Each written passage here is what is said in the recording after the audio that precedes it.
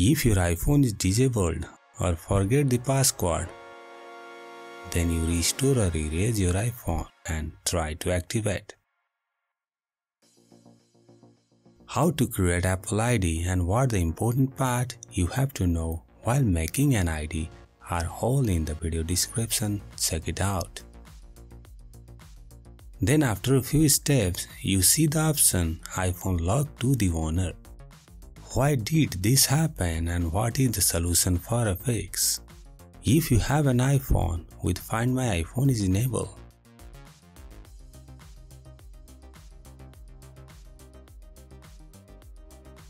then after you restore or erase your iPhone, then you have to insert the previous owner ID and password.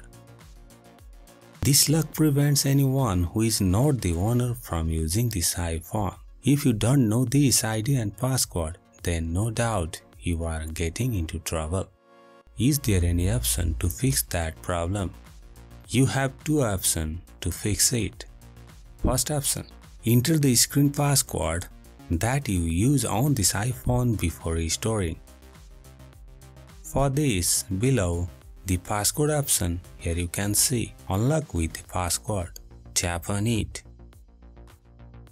And you have to insert the correct old password 2-3 times. If the password is working, then your iPhone is unlocked without inputting the Apple ID and password. This is the best option to unlock your iPhone. If you don't know the locked password, then another final option is that you have to insert the correct Apple ID and password.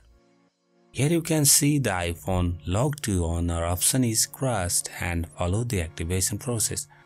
If you forget your Apple ID password, then you can contact Apple to fix it. If you use any service that is so expensive, so better keep it safe or write it down on a piece of the paper. Your Apple ID password that is really big trouble if you forget it and try to recover it without any information. Don't forget to give feedback about the video. Don't forget to share your thought. If that stuff is helpful, then press like and subscribe to support. See you in the next video. See you soon.